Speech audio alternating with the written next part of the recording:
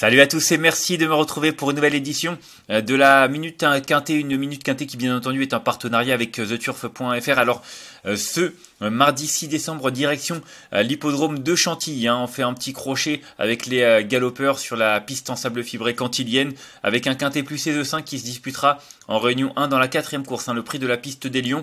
Alors voilà, comme j'ai dit, c'est sur PSF, c'est un handicap divisé, une première épreuve qui va se disputer sur 1600 mètres. des chevaux âgés de 3 ans et au-dessus qui seront au départ des concurrents bien connus pour la majorité, qui ont pas mal pour la plupart euh, l'aptitude hein, à ce parcours. En tout cas, on va rentrer euh, dans le vif du sujet, moi j'ai retenu en tête le numéro 12, hein, Chicho Boy, un Chicho Boy euh, qui vient de terminer deuxième de la course référence. Hein. Il a été devancé par le Nomade. Il a encore échoué hein, au niveau des quintés. C'est vrai qu'il recherche euh, activement son gros handicap, lui qui a déjà remporté des handicaps, d'ailleurs même sur ce parcours l'hiver dernier. c'est un spécialiste de ce tracé. Hein. comme je l'ai dit, c'est vrai que Chicho Boy, il mériterait de remporter son gros handicap. Il a le numéro 5 dans les salles de départ. associé à Greg Benoît. Il a que euh, des atouts dans son jeu. C'est vrai que c'est un point d'appui idéal. Euh, maintenant, pour la victoire, va falloir que ça se passe bien. Euh, mais bon, il en est capable, il l'a prouvé. voilà, rien, rien d'autre à ajouter. Je pense que celui qui pourra le devancer sera certainement le lauréat de cette épreuve. En deuxième position, j'ai retenu le 11, hein, Roberto Mount. Ça peut être lui hein, qui peut lui barrer le, chemin du succès. Il vient de terminer troisième derrière son rival. Euh, le 16 novembre, c'était sur ce parcours hein, dans la course référence il y a trois semaines. Il courait très très bien Roberto Mount, euh, prouvant qu'il était vraiment revenu au top. Euh, il est pris à une valeur qui est inférieure à celle qui a été la sienne l'an passé. Il a terminé troisième de cette course l'an passé en 39, je crois. Là, il est pris en 37. Du coup, c'est vraiment très avantageux.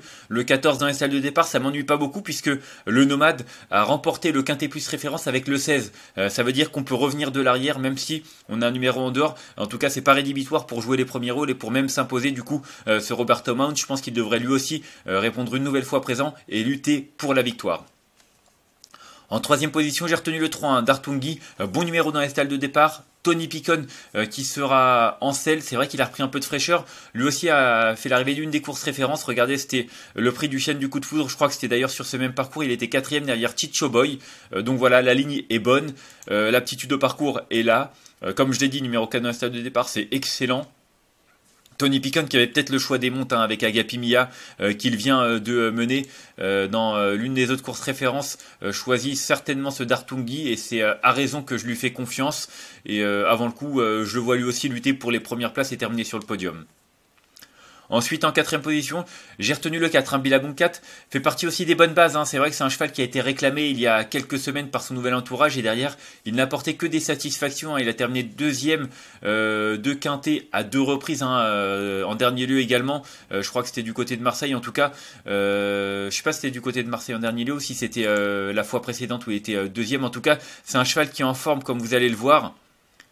Euh, ouais, c'était du côté de Marseille, derrière Royal Robbins. Il a repris de la fraîcheur d'ailleurs. Hein. C'était le 24 octobre, il y a environ un mois et demi. En tout cas, un Billabong 4 qui a des références à faire valoir également euh, sur les pistes en sable, sur la piste en sable de Chantilly, numéro 2 dans les salles de départ. Théo Bachelot. Voilà, que des euh, atouts dans son jeu. Je pense qu'on est obligé de lui faire confiance euh, dans ce quintet également. Ensuite, en cinquième position, j'ai retenu le 14 Agapimia. Agapimia, elle m'a vraiment beaucoup séduit la dernière fois. Elle a tracé une superbe fin de course dans la course référence. Elle terminait cinquième il y a trois semaines sur ce parcours. Euh, c'est vrai que c'était une rentrée en plus, hein, donc elle va certainement afficher des progrès. Euh, c'est une bonne jument. Elle est compétitive à ce niveau-là. Euh, vraiment, j'aime beaucoup sa candidature. Numéro 9 dans le stade de départ, c'est correct. voilà, c'est vrai que c'est une jument qui aime attendre et venir finir. Et si ça se passe comme la dernière fois, elle est vraiment capable de réaliser une très grande performance. Moi, j'ai retenu seulement cinquième mais ça va être une question de parcours. Et si elle a le bon parcours, attention à elle, elle est capable de terminer même sur le podium. Ensuite, en sixième position, j'ai retenu la Saint-Le Nomade. Bah, le Nomade, c'est celui qui a remporté la course référence. Il a un numéro un peu moins défavorable euh, que la dernière fois, mais bon, comme j'ai dit, ça c'est pas rédhibitoire le numéro euh, dans les stalles, visiblement. Euh, il l'a prouvé la dernière fois. Le seul problème, c'est qu'il a été pénalisé de 3,5 kg, que maintenant il est pris en valeur 41. Du coup, ça lui laisse moins de marge. Il a réussi à faire l'arrivée de Quintet l'année dernière, enfin l'hiver dernier, en 39, du coup là en 41. Faut voir ce que ça donne. Il a peut-être suffisamment de marge pour prendre une 4-5e place, mais avant le coup, je pense que ça va être difficile d'envisager Ensuite, en septième position, j'ai retenu le 9, euh, Puerto Madero. J'aime beaucoup sa candidature. Il n'a qu'une course dans les jambes, c'est la seule petite chose qui m'embête, mais c'est un concurrent qui a déjà fait l'arrivée euh, sur ce parcours en valeur 40. Là, il est pris en 38,5, numéro 7 dans les stalles de départ. Alors euh, voilà, c'est un 3 ans qui va affronter également ses aînés pour la première fois. Ça, ça ne m'inquiète pas forcément. comme je vous l'ai dit, le seul petit truc, c'est qu'il a une seule course dans les pattes et qu'il a terminé 9ème. Du coup, où est-ce qu'il en est physiquement? Il va certainement afficher des progrès, mais est-ce que ça sera suffisant pour jouer les premiers rôles? C'est la course qui va nous le dire. Moi, en tout cas, je l'ai retenu en 7 position, mais en théorie, c'est vraiment une belle possibilité. Et enfin, en 8 position, euh, j'ai retenu le numéro 7, euh, Célestine, euh, une pouliche qui a terminé 9 d'un gros handicap. la dernière fois, elle va affronter, je crois, elle aussi, hein, ses aînés pour la première fois. Maintenant, elle est raccourcie. La dernière fois, elle a un petit peu cédé ou un petit peu été dominée dans les 100-200 derniers mètres. Et c'est vrai que le fait de d'évoluer sur une distance un peu plus courte, peut lui permettre euh, de réaliser une meilleure performance. Du coup, voilà, euh, je me suis dit, euh, face à ces délais sur cette distance, avec le numéro 3 dans le stade de départ, ça peut être un outsider très amusant que j'ai retenu moi en 8 position. Et enfin, en de partant, j'ai retenu le numéro 10. Hein. Ça aussi, c'est un outsider euh, qui est assez amusant. C'est un ancien euh, Jean-Philippe Dubois qui a été, euh, qui est passé chez Julien Philippon il y a quelques semaines de cela. c'est un cheval qui l'hiver dernier faisait l'arrivée en 42 valeurs dans les gros handicaps. Là, il est pris en 37. Du coup, c'est vraiment une valeur très intéressante. son entraîneur lui a redonné du moral hein, dans les courses à condition, dans les courses à réclamer, dans lesquelles il vient de s'illustrer. C'est vrai qu'il revient dans cette catégorie avec vraiment du moral et ça peut faire la différence. Donc voilà, moi je l'ai retenu en cas de non partant euh, parce que voilà, il remonte de catégorie. J'attends un petit peu de voir qu'il me rassure à ce niveau-là, mais en théorie, euh, ça peut être vraiment lui aussi un outsider assez amusant. On va faire un petit récapitulatif de ma sélection avec le numéro 12, un Chicho Boy que j'ai retenu devant le 11 Roberto Mount, le 3 Dartungi, le 4 Billabonkat, le 14 Agapimia, l'As le Nomade, le 9 Puerto Madero et le numéro 7 Célestine. Et en cas de non partant, le 10 euh, Central Park West. En conseil de jeu, bah écoutez, c'est vrai que euh, il y a plusieurs bases qui peuvent être intéressantes. Hein. C'est vrai que moi, je vais vous conseiller le 12 et le 11 euh, parce qu'elles viennent de terminer euh, deuxième et troisième de la course référence, qu'elles sont en forme, qu'elles sont compétitives. C'est deux bases qui sont compétitives pour les premières places, à mon sens. du coup, c'est difficile de se passer de leur service. Et puis le 3 d'Artungi, qui a également très bien couru lors de sa dernière sortie derrière Chicho Boy. C'était une bonne ligne également. Donc voilà, 12, 11 et 3, c'est vraiment trois bonnes bases. Mais on pourrait également citer le numéro 4, Billabong 4 et le 14 Agapi Mia qui me plaisent également tout particulièrement. Mais voilà, faut faire des choix.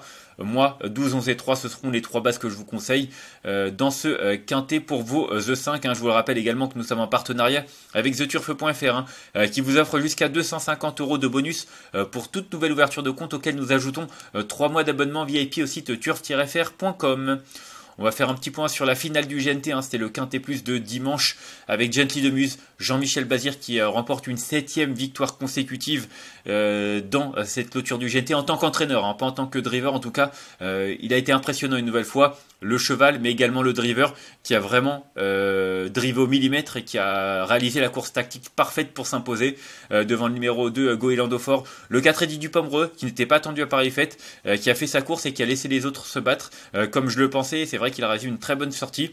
le 5 Fakir de Mai, pas très heureux derrière Gamet Liton, mais qui revient bien finir pour prendre la quatrième place devant le 13 Écho de Chandelcy, le premier à rendre 25 mètres. belle performance de ce pensionnaire d'Eric Blo. Du côté de notre rubrique Turf euh, Sélection et Top Prono, rien du côté du tiercé, mais regardez, un trio qui rapportait plus de 15 000 euros. Euh, vous imaginez 15 000 euros pour 1,50€, c'est énorme. Euh, un super trio, puis d'autres trios du côté de Top Prono, à hein, plus de 500 euros, 333, enfin bref une très bonne journée de nos deux rubriques au niveau des trios. Vous voyez, c'est à partir de 1 euro par mois l'offre découverte. Vous pouvez tester nos pronostics, c'est sans engagement, donc n'hésitez pas, c'est le premier mois à venir en bénéficier. Moi, je vous remercie d'avoir suivi cette nouvelle édition euh, de la Minute euh, Quintée. Si vous avez aimé cette vidéo, n'hésitez pas à la liker, à la partager ou encore à vous abonner à notre chaîne YouTube en cochant la petite cloche. Euh, vous pouvez laisser votre pronostic en commentaire. Il y a un tirage au sort parmi tous les commentaires chaque mois avec à gagner 6 mois d'abonnement VIP au site turf-fr.com. Moi, je vous retrouve demain. Je pense que ce sera également du côté des trotteurs cette fois. Non, ce sera avec les trotteurs du côté de Vincennes. En tout cas, d'ici là, je vous souhaite de bons jeux à tous et une bonne journée. Bye bye.